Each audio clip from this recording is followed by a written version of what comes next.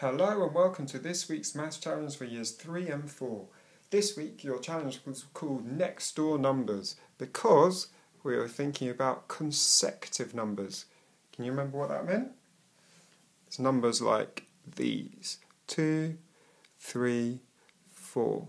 So numbers that come in order one after the other. Okay? So you had to arrange the digits into this pattern here. So here is a solution. So you could have had 9 at the top next to the digit 1 because they're not consecutive, they're far apart.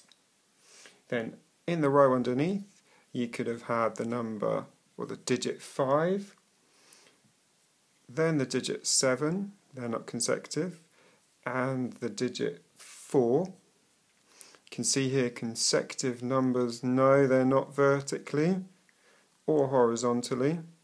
So that's working out. Then in the row underneath you could have the digits 3, 0 and 2 and that leaves the digits 6 and 8. And there you go. There's one solution. I'm sure there are, you managed to find lots of other ones. You can always post those to your teacher to check out for you. But that's my one solution I managed to find. So I hope you enjoyed it and I'll post a new challenge on Monday.